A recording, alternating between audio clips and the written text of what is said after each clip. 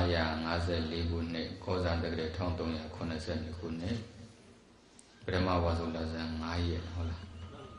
ဟုတ်တယ်နော်9ရက်အဲ16ရက်10လ6လ2010အဲဒီနေ့မှာမုံရွာမျိုးဧတုဝတီစာသင်တန်းကြီးအတွင်းမှာ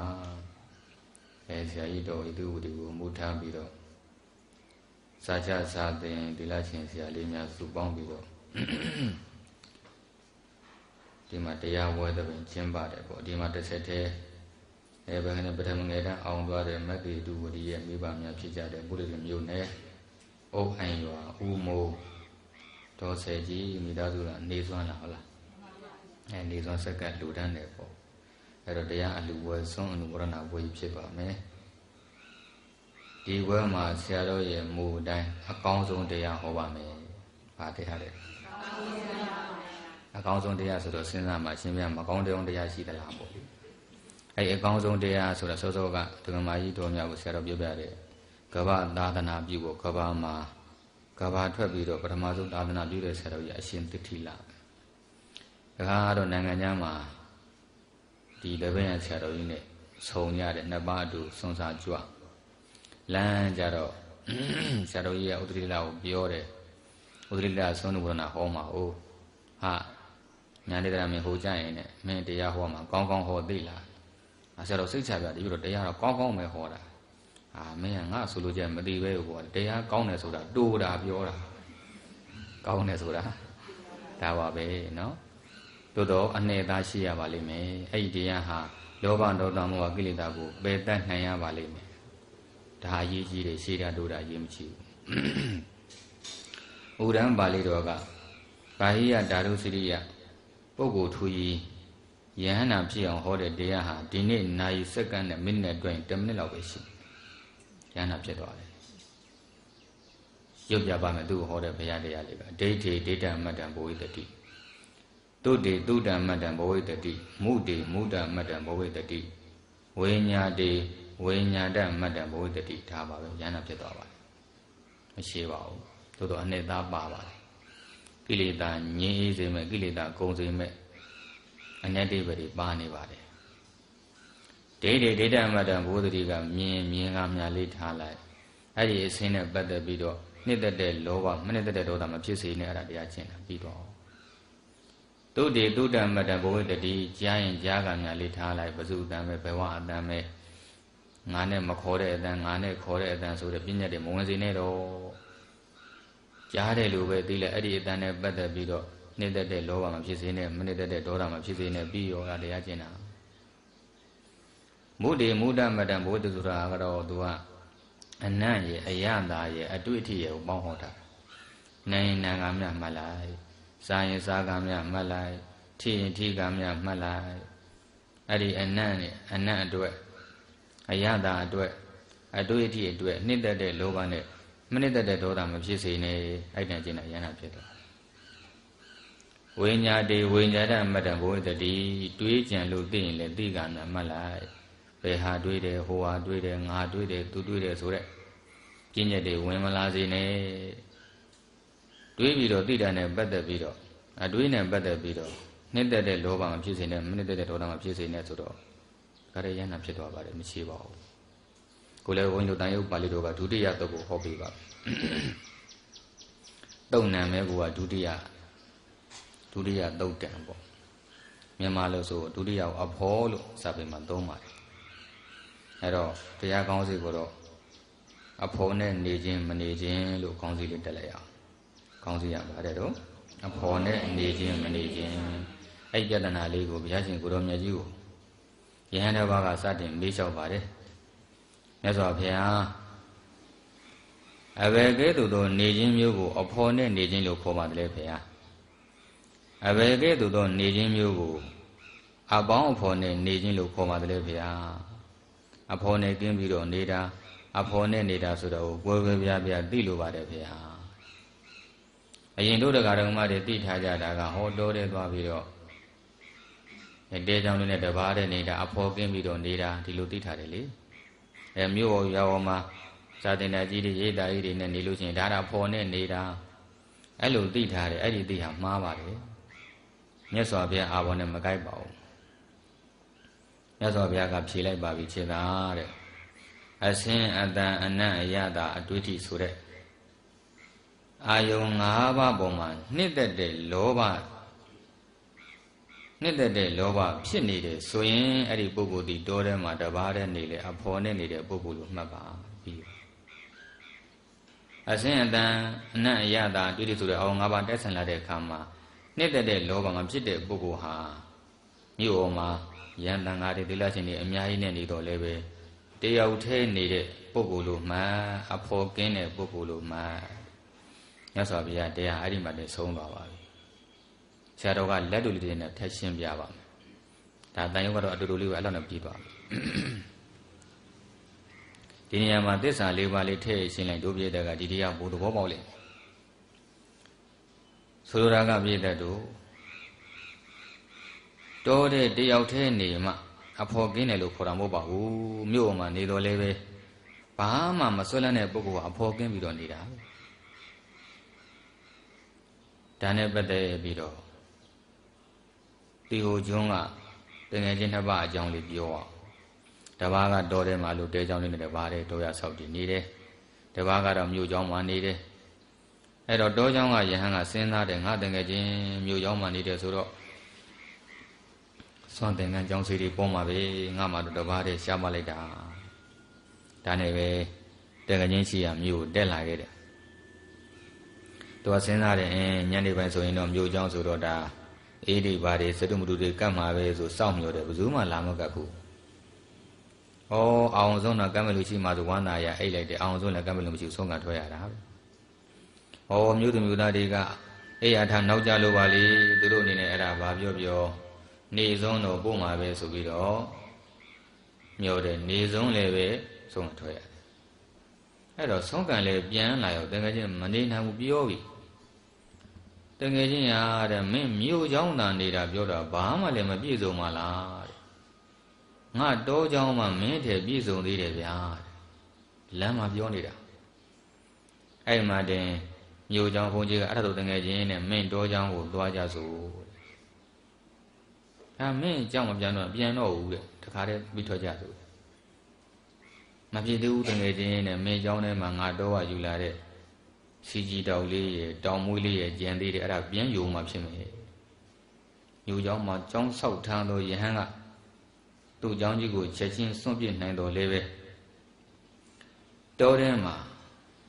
တောရကြောင်လေးဆောက်ပြီးတော့နေတဲ့ယဟန်ကသူ့ရဲ့စီကြည်တောင်းနဲ့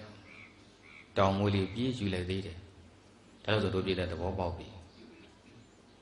အဲ့တော့အစွဲလန်းလောဘကင်းနေတဲ့ပုဂ္ဂိုလ်ကဘယ်မှနေနေတာတယောက်တည်းနေတာ တစုံတစ်ခုကိုစွဲလန်းပြီးတော့နေပြီဆိုရင်အဲ့ပုဂ္ဂိုလ်ဒီအဖော်နဲ့နေတာပဲအဖော်နဲ့နေလို့မရဘယ်တော့မှနေပါမရဘူးအဲနေပါရောက်ချင်တယောက်တည်းနေအောင်ကြိုးစားအဲတယောက်တည်းနေဆိုတော့ရှင်းပြလိုက်ပြီလောဘကင်းအောင်နေခိုင်းတာဘာမှမစွဲနဲ့ဘုန်းတော်လေးအဲ့တဲ့နေနဲ့နေတဲ့ကျန်စားပြီးအမြဲတမ်းစိတ်ချမ်းသာတယ်ဘုန်းတော်မျက်နှာမြင်သိပါတယ်ပျော်နေတာပဲဘာမှမစွဲလန်းဘူးလေကြားတော့နေတယ်စွဲလန်းတဲ့စိတ်ကိုပေါ်မလာတော့ဘူးတော်တော်ပျော်စရာကောင်းတယ် ကိုယ်စိတ်ထဲပါရှိလဲစာကြည့်မယ်စာရေးမယ်တရားဟောပြီးမယ်ဒါကြတဲ့ဘာမှမရှိဘူးတော့မရှိတော့ဘူးကြားပြီလေအဲ့ဒါလည်းတရားကျင့်တယ်အဲ့လိုကျင့်ကြစမ်းပါဘာမှမစွဲပါနဲ့မိမိခန္ဓာကိုယ်ကိုမစွဲနဲ့စားကျင်တယ်လို့စားရတာဒါပဲဝိကျင်နဲ့လည်းဝဲရတာအဲ့ဒါပဲအဲ့ကျင်လည်းအေးရတာဒါပဲဘာမှကိုမဆွဲနဲ့မဆွဲရနေပေါ့ဒီဆွဲလောဘကိုတရင်ကပန်ခိတခဏတန်ရင်နဲ့ပါရမီကျင့်လိုက်ဝိကမ္မနာပဟံအကြာကြီးပယ်တတ်နိုင်လိမ့်မယ် အရင်ဆုံးအစဉ်ရောက်ပြီဆိုတော့သမုတ်စေတပဟံအာရတမနဲ့တတ်တော့ခါလေယန္နာဖြစ်တာယန္နာဟာအဲ့လိုကျင့်ယူရတာပါတဲ့မွေးတွေကယန္နာမမွေးပါဘူး။ဒါတရားစာကြစာလေးလာခြင်းဆရာလေးကလည်းရိုးချမ်းမပြောက်စေနဲ့ပေါ့ဆရာတော်ခုလူပြရတဲ့လူပြရခြင်းရဲ့အဓိကရွယ်ချက်စာအုပ်ကြီးရဲ့လူသားတွေတော်တော်များများစိတ်တက်တွေပြောင်းလဲလို့သူတော်ဟောနဲ့ဖြစ်ကုန်ကြတယ်။အော်စရာပဲလက်တွေလည်းအသုံးတည့်နေသိလား။ ဒီလိုမြင်းကြံဖုံးဆက်တယ်ဆရာတော်တက္ကတွေအခွန်ဦးစိဌာနလိမ်မှန်သွားချပါပြီသူတို့ဆိုရင်ပြီးတဲ့အတိုင်းအဲအခွန်ဦးစိဌာနအဲ့ဒီကိုကြီးလည်းပြောတတ်တယ်သိလား။ဆရာတော်တပည့်တို့ဝန်ထမ်းတွေရတဲ့ညသုံးလုံးနဲ့အလုပ်လုပ်တာမှညသုံးလုံးပြောသမောင်းပြ။ပရမတ်တော်ဆရာတော်ကြီးတဲ့အခွန်ထမ်းတဲ့ပုဂ္ဂိုလ်တွေနဲ့ရွညှိတယ်ငါဘလောက်ပေးနိုင်ငံတော်ဘလောက်ပေးညှိတယ်ညှိလို့မရလို့ရှိရင်ဒီတော့သူ့ရှင်ညှစ်တယ်တဲ့မရမကညှိလို့မရလို့ရှိရင်ညှစ်ပတ်ပလိုက်ရောတဲ့ဒီလားညီတို့လောက်ခဲ့တဲ့ဟာတွေပေါ့နော် ခုတော့တကယ်သိတော့ချင်လုံးဝသူမယူတော့ပါဘူးအစိုးရလည်းအခွန်ရထပ်လို့ရပါစေအခွန်တန်းပုဂ္ဂိုလ်လည်းပဲမများစေနဲ့စေတနာနဲ့လှုပ်ပြီးတယ်ကြွေးကြွရှာတယ်အဲ့ဘူကြီးခုတော့ငြင်းသူတို့ငြင်းစားဖြစ်သွားပြီပေါ့ဆရာတော်ကြီးတဲ့အရင်တော့ကတောင်းလို့ရတာကပူလောင်တဲ့ငွေပါဗျာတဲ့မပေးခြင်းပေးခြင်းပေးရအခုဒီမတောင်းတော့ဘူးအစိုးရရောအခွန်တန်းတစ်ခုလုံးပြေလောင်လှုပ်ပြီးလိုက်တော့ သူတို့စေတနာနဲ့သူတို့ပေးတဲ့ဟာပိုးတော်များလေးတယ်စေတနာကြိုးပေးတယ်ကိုတလုံးကသူတို့နေရာဝလို့ပေါ့သူတို့တိုင်မြင်တဲ့စာသုံးလုံးခွဲတွေရောက်လာတယ်ခွန်ရောက်လာတော့အဲ့ဒါလာစစ်ကြပြုကြတော့ပတ်စံတောင်းတယ်တဲ့အဲ့ဘက်ကဒီအခွန်အခွန်ဘက်ကလည်းသူတို့ကလည်းမှန်မှန်ကန်လို့တော့ဘာမှပေးတာမရှိဘူးရစ်နေတယ်တဲ့တရက်တော့ကံကောင်းတယ်သူတို့စီကိုဆရာတော်ကလူဖြစ်ချင်းရွေချက်စာအုပ်10ဦးလောက်ပို့ထားတာ အဲ့လာရတဲ့ပုဂ္ဂိုလ်ကြီးသူအဲ့ဒီလူရက်ညီရွယ်စာအုပ်တို့လက်ဆောင်ပေးလိုက်တယ်နောက်နေ့ကျတော့မလာတော့ဘူးမတောင်းတော့ဘူးတဲ့တော်တော်အဆင်ပြေတယ်ဆရာတော်ဟုတ်လားဆရာတော်ဆိုလက်တွေအသုံးချလို့ရတယ်တခါလေတဲ့မော်တော်ပေကတည်းကလက်ဆောင်ပေးလိုက်တာနောက်နေ့ကျတိုင်းမော်တော်ဘယ်သူမှပတ်စံမတောင်းတော့ဘူးတော်တော်ကောင်းတဲ့စာအုပ်လေးလားများများသာကမ်းကြပြီတယ်နော်ရွေချက်ကိုသိသွားတာလေလူကြီးရတဲ့ရွေချက်ဟာကုသိုလ်လုပ်ဖို့ပါလားနားလဲသွားတာအဲ့တော့ဆိုကြပါစို့ဒီတယောက်တည်း နေတတ်အောင်အမြဲတမ်းကြိုးစားအစွဲလန်းကင်းအောင်လည်းအမြဲတမ်းကြိုးစားပေါ့ရေချက်ကိုပြောအောင်အဲ့ဒါပြီးတော့ဆရာတော်ညီရပြောတယ်ဆရာတော်တဲ့ဆရာတော်လူပြည့်ရခြင်းရဲ့အဓိကရွေချက်ရေးလိုက်တော့လူသားတွေကအင်မတန်ပြောင်းလဲသွားတယ်ဖေဟာတန်ဖိုးရှိလိုက်တာအဲ့ဒါအခုဆရာတော်ရေးဖို့ကြံတာကယဟန်ပြုရခြင်းရဲ့အဓိကရွေချက်ရေးဖို့ကြံနေတယ်မှန်တယ်ခုမြန်မာပြည်ကငယ်လူယဟန်အများစုကဆရာတော်တဲ့ယဟန်ပြုတဲ့ရည်ရွယ်ချက်ကိုမသိဘူးတဲ့ သူတို့တင်တာကယဟန်ပြုရင်စောင်းဘွားနေအောင်ကြိုးစားပြီးတော့ပြုတ်ပေါ်ကြောင်းကြီးတွေရှာမယ်ကြောင်းထိုင်မယ်ပြီးတော့အပျော်ပါးတွေအမော်ကြွားတွေနဲ့ဇိမ်ခံမယ်အဲ့ဒါယဟန်ပြုရခြင်းရဲ့အဓိကရွယ်ချက်ထင်တာဆရာတော်ရေးမယ်လို့ဂရိပေးပြီးပါရေးတော့မှာပါအဲယဟန်ပြုရခြင်းရဲ့အဓိကရွယ်ချက်ကိုရေးရင်တိလရှင်ဝေရခြင်းရဲ့အဓိကရွယ်ချက်တခါတည်းပါပြီးသားတိလရှင်ဆိုတော့လေတူတူပဲလေယဟန်ယဟန်တစ်မျိုးပါပဲ ဘေကုဏီသာသနာမရှိလို့ဒါသီလရှင်အမိတို့ယဟန်လိုနေရတာလေတူတူပဲငါးပါးကြောင့်သီလရှင်ဝတ်တယ်လေငါးပါးကြောင့်ယဟန်ဝတ်တယ်လေဘုန်းကြီးတော်မြေတန်းတောင်းတောင်းတန်ဩဝါဒပေးတယ်အရှင်ဘုရားတို့လို့ရိုးရိုးဒါနသီလတက္ကနာကုသိုလ်တော်လိုချင်ရင်တော့ဘာလို့လို့ဘုန်းကြီးကကိုယ့်လူပါနေကြစီးပွားလို့တရဏဂုံ၅ပါးသီလဒါနရှင်ပြင်မကြပါဘူးတစ်ဖက်ကြအောင်မှန်တော့ယဟန်ပြုတဲ့အဓိကရိုးရကယဟန်နာဖြစ်ခြင်းလို့ဖရာ ယဟန္တာဖြစ်ဖို့ကြတော့လူ့ဘဝမှာကြင့်ကြင်နေတယ်တောတာမလောက်ဆိုတော့လွယ်သေးတယ်ပေါ့အထက်မဲ့အထက်မဲ့အထက်ဖို့ကြတော့လူ့ဘဝမှာကျင့်ဖို့အချိန်နေတယ်လို့ဒါကြောင့်ရှင်များတို့ယဟန္တာဖြစ်အောင်ကျင့်ဖို့အတွက်အာယုံ၅ပါးကာမုရိယမိဘဆွေမျိုးစွန့်ပြီးတော့ယဟန်ဝတ္တာအဲ့တော့ယဟန္တာဖြစ်အောင်မကျင့်ကြင်ထွဲလို့လက်ကဘာလို့ရှုပ်တယ်အဲ့ဒါဆရာတို့ကြောင့်ရွေးချက်ပဲကြိတ်တာဟုတ်အဲ့ဒီလမ်းကြောင်းတော့သွားနေကြတယ်ယဟန္တာဖြစ်တာမဖြစ်တာကတရားနဲ့ဆိုင်တယ်ဖြစ်အောင်လုပ်တာကိုယ်နဲ့ဆိုင်ကြိုးစားနေတယ်မြေတန်တရားနာမြေတန်တရားရှုမှတ် တရားစာအုပ်ဖတ်ကျန်တယ်ဘာမှမတွေးနဲ့ဆရာတော်တို့တဲ့အတိုင်းကြောင်းတန်အကုန်နီးပေးထားတယ်ဒါကြောင့်ဆရာတော်ကြောင်းလာရင်လေဟိုတေးကြတဲ့ဆရာတော်ကြောင်းမှာနေနိုင်သူတော်ကောင်းပဲသူတော်ကောင်းဖွင့်နေကိုမနေနိုင်ဘူးပြန်ပြေးပေါ့အဲ့တိုင်အမြဲတမ်းနေရဘာမှငွေလည်းမကန်နဲ့သွားကပိယကန်ထားဒါဆုံးသားကိုတော့မရှိဆရာတော်ကလည်းဆုံးသားတော့မလိုက်ဘူးကျောင်းမှာပဲဒါအချိန်နဲ့ဒါတရား၅ချိန်နာတစ်ချိန်ထိုင်ကျန်တဲ့ချိန်တရားစာအုပ်ဖတ်မသိတာဆွေးနွေးဒါမှနဲ့မိုးလင်းမီဆိုတာနဲ့ 6နိုင်ခွဲနဲ့9နာရီခွဲလောက်ကမြတ်စွာဘုရားတရားကိုတိုက်ရိုက်နာကြားခြင်းဆိုတဲ့အစီအစဉ်ထည့်ထားတယ်။ဟာဘုရားတရားတိုက်ရိုက်နာကြတာဘယ်လိုမှမျိုးလဲဘုရားဆိုတော့မြတ်စွာဘုရားဟောကြားတဲ့တုတ်တံပါဠိတော်ကြီးများကိုနှုတ်အားရှင်းရှင်းတဲ့ပုဂ္ဂိုလ်တစ်ပါးရော့ဘုရားဟောတဲ့အတိုင်းတလုံးမှကိုယ်အတော်မတိမပါဘူးပေါ့။ပြီးတော့မှအဲ့မြန်မာပြန်တစ်ခါရွတ်ပြီးတော့ဘုရားဟောတဲ့အတိုင်းပြန်နာကြတာ။ဟောတာတန်ရုပ်ပါဠိတော်ကြီးကိုနာနေကြတယ် အတိပ္ပယ်နဲ့ပါရှင်းရှင်းပေါ့အင်မနာရတာရှိတယ်အတန်ရုပ်ပါဠိတော်ဆိုတာဝိပဿနာလမ်းစဉ်ပြတဲ့ဟာတွေအခုဆက်ပြောပါမယ်အဲ့လိုယူဆလေးမသိလိုက်တော့ဟောအခုရှိဖို့ခရိုင်ဒီဘင်းမြို့နေဒီဘင်းနဲ့ဝဲလက်အစံနမ်းမှာရဲထုတ်ရွာဆိုတာရှိတယ်အဲ့ရဲထုတ်ရွာရဲ့အနီးမှာတောရတခုရှိတယ်ရေဘိုတောတောရကြောင်း ဒါတင်ညာသေးစောက်တယ်မပါပါအဲ့မှာတောရဆောက်တည်တဲ့ဆရာတော်ဘာရှိတဲ့တဲကြောင်လေးနဲ့အဲသူ့ရဲ့တောရကြောင်တွေကိုရေမိုးရေတွေဝင်ပြီးလို့ရှိရင်ပြန်မထွက်ဘူးပေါ့မြက်တွေနဲ့ရေဘုတ်ရေတွေကပုတ်နေတာအဲဒါရေဘုတ်တော့တောရလို့ခေါ်တဲ့ဘုရားကြီးတော့ဩဆရာတော်ကြည်စံတောရဆောက်တည်တဲ့ဘာတဲ့နေတာလို့ကြီးညိုစရာပေါ့လေဒါမဲ့လို့စောစောကတန်ရုပ်ပါဠိတော်ဒုတိယတုတ်ရဆိုရင်ဒီပုဂ္ဂိုလ်ဟာအဖော်နဲ့နေတာပဲ။ ။ဘာကြောင့်လဲဆိုတော့သူ့ရဲ့တဲကြောင့်လေသူကပြန်ဆွဲနေတယ်လေ။ဆွဲနေတော့ရန်တော်မူလဲသွားရောအဲ့ဒီကြောင့်မှတရေပြန်ဖြစ်သွား။အဲ့မှာအဖြေရထွက်သွား။ဒါကြောင့်အပေါ်ရင်ကြည့်ုံနဲ့မရဘူး။တချို့ဟာသေမှသိရတယ်။တရေပြုံတော့မပြီးသေးဘူး။ကြောက်စရာကောင်းလိုက်တာ။နောက်ထပ်အဲ့နေရာလေးကတေးစီတော်ထပ်ကိုတော်တော်ဘာသွားအားထုတ်တယ်။ဆက်ချို့တပ်လဲသေဝေါ။သူကြောင့်လာနေလို့ နောက်တစ်ပါးသွားတတ်နှစ်ပါးသေးသွားပြန်တော်မူတော့ဒီကြောင့်ဘယ်သူမှမသွားရတော့တရားမြတ်ဘုရားကငါလည်းသွားမယ်တဲ့ဝိုင်းတာကြရှင်မသွားနဲ့သေးမယ်နှစ်ပါးသေးသွားပြန်တော်မူသွားဆိုတော့မဟုတ်တဲ့ဘုန်းကြီးကဖျားပေးတဲ့လက်နဲ့ရှိတယ်မပူနဲ့ဆိုကြွအောင်ဟုတ်သားပဲသူကြွတော့ဘာနောက်ချက်မှမရှိဘူးအာထုတ်နေတာ3လကြာဘာမှမလုပ်တော့ဒါဆိုရင်သူ့ရဲ့ဖျားပေးတဲ့လက်နဲ့ကဘာပဲလို့ဆိုမေတ္တာပွားတာ ဒါကြောင့်ဆရာလေးမြောက်တော်မကြီးတွေပေါ့တိတ်ဆိတ်တယ်ငြိမ်သက်တယ်တောရကြောင်းနဲ့အားထုတ်ဆိုမေတ္တာပွားဖို့မမေ့ရအောင်မေတ္တာပွားရင်နောက်ဆက်ရှိတယ်ဆရာတို့ဘယ်လောက်တိုးတော့နောက်ဆက်မရှိဘယ်ရှိမှမေတ္တာမေတ္တာပွားမေတ္တာဆိုတာမြန်မာလိုမိတ်ဆွေဖွဲ့လိုက်တာအဲ့မြင်ရမြင်ပုဂ္ဂိုလ်ကိုမိတ်ဆွေတွေဖြစ်သွားလုံးဝကိုကြီးနောက်ချက်မရှိဘူးအဲခွန်ကြီးတို့ကဘိတ်ကြောင်းတဲ့နေရာဆိုတာဓမြတွေဝေစုခွဲတဲ့နေရာကြီးစုမမလာရဘူး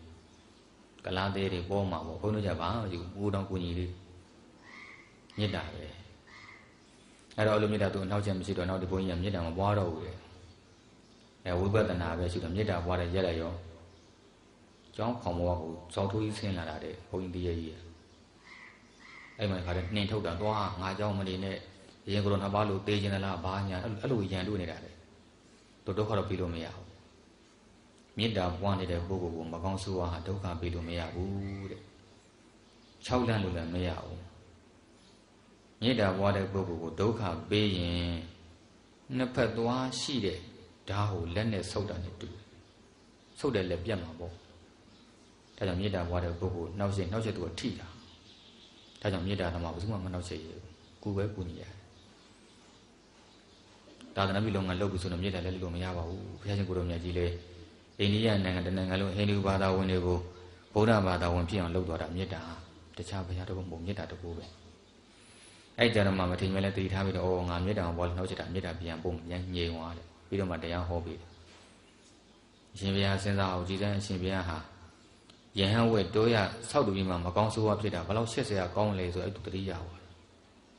မငါပြည်တော်ကြီးအောင်စရာတိလားစိတ်ကမြန်တော့သေပြီဘဝအတ္တကတန့်ပြီးတော့တချို့ကလေကိုသိမှမသိဘူးလေ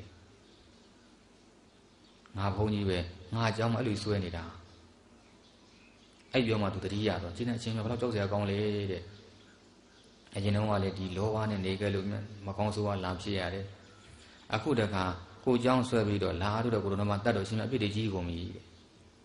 အခုတပည့်တော်လည်းနှောက်ရှင်ရှင်ပြန်သိရင်တော့အဝူစီငရဲသွားလိမ့်မယ်ဆိုပြီးတော့မှတရားဟောပြီးမှအတိတရားတွေရတယ်နောက်အမြပြီးတော့တို့ပါသေးတယ်ကျွတ်သွားရှာတယ် ဒီပြည့်ရက်ကိုဘာကြောင့်ထုတ်ပြောရတယ်လဲဆိုတော့အဖော်နဲ့နေခြင်းမနေခြင်းကိုသိစေခြင်းလို့ပါပဲအဖော်နဲ့မနေကြနဲ့အဲ့ဒါအဖော်နဲ့နေပြီလို့ဘာဘောလဲပြဆိုတော့အဲ့ဒီတောချောင်းလေးကသူ့ဘောပြင်းနေမဆွဲရဘူးဘာမှမဆွဲရဘူးအဆွဲလန့်မှန်သမျှဟာဒုက္ခပေးတာအကြည့်ပဲဒါဥသစ္စာ၄ပါးနဲ့ပြောတော့ဒီလိုပြောရတယ်ကြလဲဆိုလိုက်လိုခြင်းလျင်ဆင်းရဲသည်မလိုခြင်းလျင်ချမ်းသာသည် သုံးကောက်ဆိုလိုက်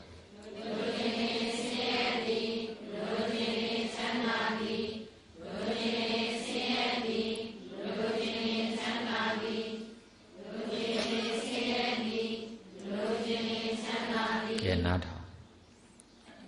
လိုခြင်းလျင်ဆိုတာသမုဒယသစ္စာကိုပြောတာပါသစ္စာ၄ပါးရှိတယ်လေဒုက္ခသမုဒယនិရောဓမဂ္ဂဒုက္ခသစ္စာဆိုရုပ်တို့ဟောရတဲ့ခန္ဓာကိုယ်ကြီးဒုက္ခသစ္စာပဲ ယုံနံဖြစ်ပြနေအမြဲတမ်းနှိမ့်ဆက်လို့ဆင်းရဲနေတယ်။အိုခြင်းနာခြင်းသိခြင်းနဲ့နှိမ့်ဆက်လို့ဆင်းရဲနေတယ်ဒုက္ခသစ္စာအစေအဲ့ဒါသိရမယ်တရားသမုဒိယသစ္စာတဏှာကပယ်တတ်ကြညီတော်သစ္စာနိဗ္ဗာန်ကမျက်မှောက်ပြုကြမဂ္ဂသစ္စာမဂ္ဂင်ပါကပွားများကြလို့၄ပါးရှိအဲ့၄ပါးကိုမြန်မာလိုပြောတော့လိုချင်လင်ဆင်းရဲသည်တဲ့နောက်ဘဝခန္ဓာပဲလိုချင်လိုချင် တက်ရှိတဲ့မဲ့တခုခုပဲလိုချင်လိုချင်တော်ကြောကြထင်ကြတာပဲလိုချင်လိုချင်ဘောဓိစိတ်တွေပဲလိုချင်လိုချင်နဲ့လိုချင်တာမှန်တယ်မြသမုဒိယသစ္စာလို့ပဲမှတ်သိခြင်းပါတယ်အဲသမုဒိယကြောင့်ဒုက္ခပဲရောက်တယ်ရှင်းရှင်းပြောတော့လိုချင်နေတယ်မြဆင်းရဲတယ်အခုကြည့်လေရေဘောတော်တော်ရဘုန်းကြီးဟာတောထဲမှာတပါးတည်းနေပြီးတော့သူ့တောရအကြောင်းလေးပြန်ပြီးတော့လိုချင်နေတယ်ဆွဲလန်းနေတယ်သမုဒိယကြောင့်ဒုက္ခဖြစ်ပြီတဲ့အကြောင်းကို လိုချင်တက်မဲ့တဲ့တုန်းကကြည်တန်းပြည့်တဲ့ဘဝမှာသွားပြီးတော့အပေကြတော့ဒါဆင်းရဲတာပေါ့လိုချင်လို့ဆင်းရဲသွားတာဒါဆိုရင်မဆင်းရဲခြင်းဘူးဗျာမဆင်းရဲခြင်းမလိုချင်နဲ့တော့လိုချင်တဲ့စိတ်တွေအကုန်တတ်ကြမိမိခန္ဓာစသူတို့ကခန္ဓာအစုံသောတဲ့ဘုံကိုမဂ္ဂသစ္စာဝိပဿနာဉာဏ်နဲ့လှမ်းကြည့်လိုက်လို့ရှိရင်ယုံနာမတပါတခြားမရှိပါဘူးရှိတဲ့ယုံနာဆိုတာလည်းပဲယုတ်ဆိုရင်ဖောက်ပြန်တဲ့သဘောတရားမြတ် နာဆိုရင်အာယုံတိတတ်တဲ့သဘောတရားမြတ်အဲယုံနာကလည်းဖြစ်ပြီးတော့ပြဲအဲ့လိုသိလိုက်မလို့ခြင်းတော့ပါအဲမလို့ခြင်းဟာမဂ္ဂသစ္စာပါပဲတဲ့ချမ်းသာတယ်ဆိုတာនិရောဓသစ္စာနိဗ္ဗာန်ပဲအဲ့ချက်လေးမသိတဲ့ကြည်စမ်းတော့ရဘုံကြီးခံလိုက်ရတာအာယုံ၅ပါးကာမုန်တရားတွေစွန့်ပြီးတော့လေဒီအကြောင်းလို့ညမှာဆိုရင်တရေပြတာဘယ်လောက်နဲ့နာလေဒါကြောင့်ဆရာလေးတို့မေတ္တာနဲ့ပြောပြရစီရည်ရွယ်ချက်ကိုမမေ့နဲ့ ကိုယ်အာယုံ၅ပါးကာမုန်တရားတွေစွန့်မိဘဆွေမျိုးတွေစွန့်ပြီးတော့သာသနာ့ဘောင်ဝင်လာပြီးကမှစွန့်တယ်ငံကြောင်းစေဆိုတဲ့တမန်ငါရှံကအကြောင်းလေးကြောင်းတော့အပေကြမခံကြနဲ့မျက်နာလုံးလို့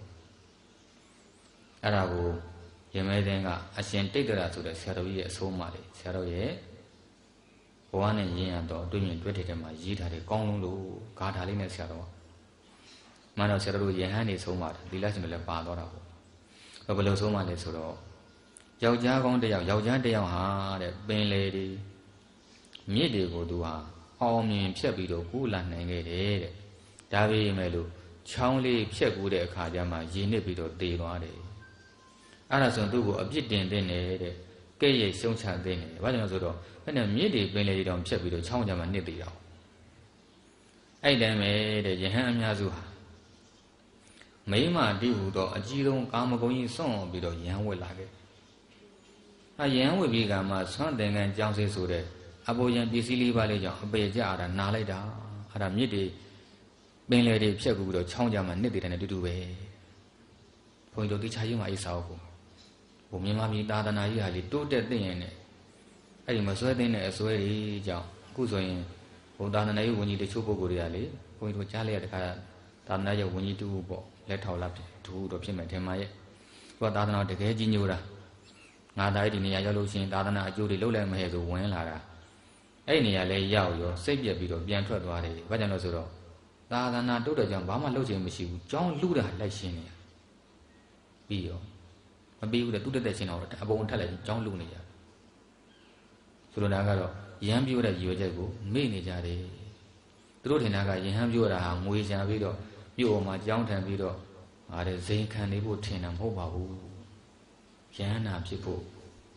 ယဟန်ဝတ်ခဲ့တာယဟန်နာဖြစ်အောင်ကျင့်ဖို့တိလရှင်ဝတ်ခဲ့ကြတာအဖို့မဟုတ်ဘူးရိုးရိုးကုသိုလ်လောက်ကတော့ဆရာလေးတို့ဘာလို့မှကိုလူဝကိုကိုအိမ်တော်နဲ့ကိုနေပြီးစီးပွားရှာကုသိုလ်လို့ရပါတယ်ဒါကြောင့်စာရီတက်ပြီးရင်လည်းကျင့်ကြပါဒီမှာဆရာလေးတွေနှစ်စဉ်တရားစခန်းဝဲဘုန်းကြီးဝမ်းမြောက်ပါတယ်ရွေးချက်မပြောက်ကြပါဘူးအဲ့ဒီရွေးချက်ကိုလည်းမဖြောက်ကြပါနဲ့ ဇာတိသိနေဆိုတာလေမညံပူညာရတဲ့နီးတွေကိုသိဖို့တင်တာပဲအောက်လမ်းမကြီးတွေပြပြီးတော့ဂုံယူဖို့မဟုတ်ပါဘူးကြိုးစားကြပါလက်လူလက်ကိလေသာကိုဘယ်နဲ့အောင်ကြိုးစားကြပါဒီလိုကြောင့်မှာကျင်တာကတော့မဟုတ်ဆရာတော်ကြီးစကားလေးပဲတခါတော့မဟုတ်ဆရာတော်ဘုရားကြီးကပ္ပိယတယောက်ကမာကနောဆရာတော်ဘုရားကြီးကြောင်းအလဲလာတယ်သူတို့ကပ္ပိယနှစ်ယောက်စကားပြောနေတဲ့အချိန်မှာပဲ တခါတယောက်ကမဟုတ်ဆရာတော်ကြီးကိုဘလုံးဝဲတဲ့နေပေါင်း450ကတော့ဗျာဘန်ကောက်တန်ကအကောင်းဆုံးဘောင်းကောက်တန်ကတဆုံးလှူတော့ဆရာတော်လက်ခံတာပေါ့လှူလို့လက်ခံတာအဲ့ဒါကိုဘန်တော်ဆရာတော်ရဲ့တပည့်ကတွေ့တော့ဘုန်းဆရာတော်ရဲ့တပည့်ကိုပြောတယ်ဟာခင်ဗျားတို့ဆရာတော်ကတရားပြဆရာတော်ပြောတယ်တဲ့အကောင်းစားသင်္ကန်းကြီးလက်ခံတယ်ဝတ်တယ်တဲ့ကျွန်တော်တို့ခန္ဓာဆရာတော်ကြီးကတော့အဲ့လိုကောင်းသားသင်္ကန်းမွတ်ဘူးတဲ့ပိတ်သင်္ကန်းလေးပဲဝတ်တယ်အဲ့လိုပြောတယ် နောက်တော့မှသိစုံဝင်စားဖို့ကောင်းလို့တရားတော်ပါလို့မဟုတ်ဆရာတော်ရဲ့စကားကိုကြားသွားပါတယ်ကြားတော့တော့ဘာလုပ်လဲလက်တွေ့တရားဟောပေးတယ်လေအနာကိုသွားလိုက်တယ်ဆိုတော့တခါနှစ်ယောက်နှစ်ယောက်သွားပြီးတော့ဆောဆောကဘန်ကောက်သင်္ကန်းကြီးကိုသူ့ရဲ့ကပ်ပြက်ရှိပို့ဆိုပြစ်ချလိုက်တယ်ဒကာကြီးတဲ့အဲ့သင်္ကန်းကိုခြေလိုက်ဆန်းတယ်ဘုန်းကြီးအခုဝက်မိတယ်လူရှင်ကုသိုလ်ရအောင်အခုဝက်ပေးလိုက်မယ်ဘကောင်သင်္ကန်းသူကကိုယ်ရင်းနဲ့တောင်းတော့လက်နဲ့ချီပြီးဝက်ရဝက်လိုက်တယ် ဝက်ပြီးတော့မှမဟုတ်ဆရာတော်ကြီးရဲ့ဘဝတက်တန်းမှာအတူဆုံးတရားတစ်ခုဟောပေးခဲ့တယ်တူတာမှ10မိနစ်တောင်မရှိဘူး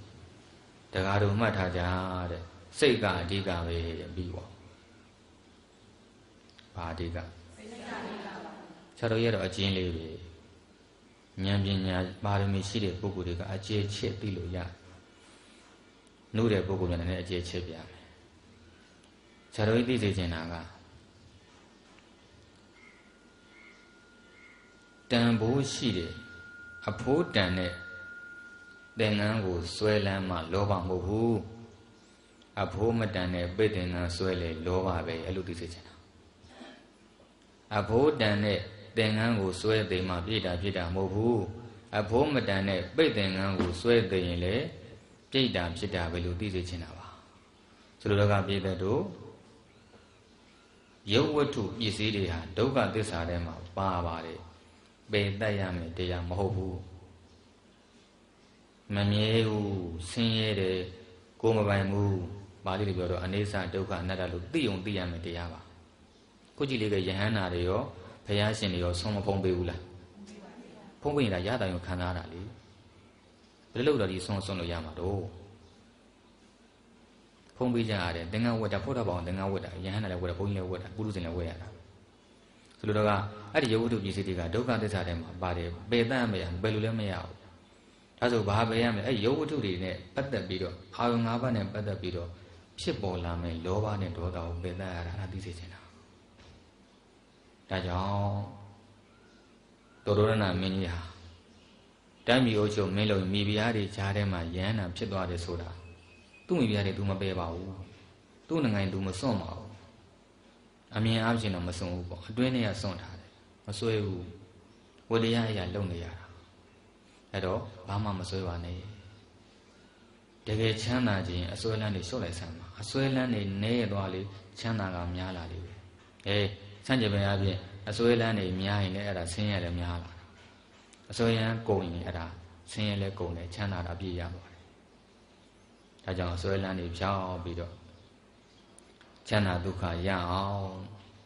တဏှာအစွဲလန်းကင်းပြီးတော့တယောက်တည်းနေတတ်တဲ့ယောဂီများဟုတ်ချမသွေဖြစ်ကြပါစေကုန်တည်း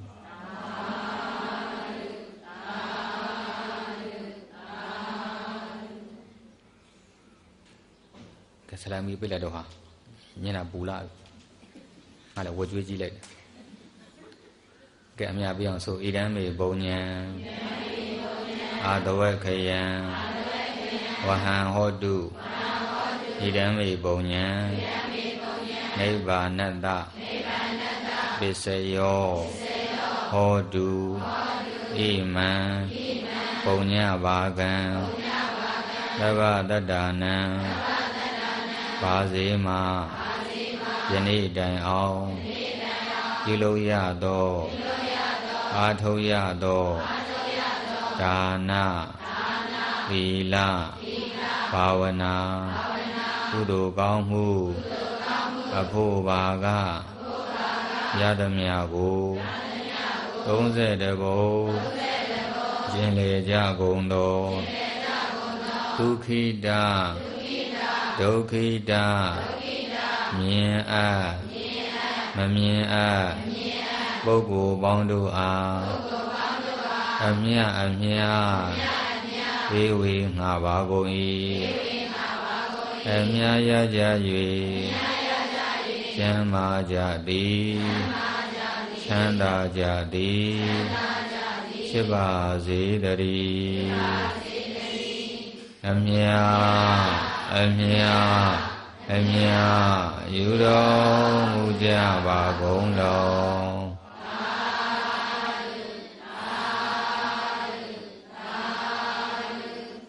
အမြအမြအမြယူတော်မူကြပါကုန်တော်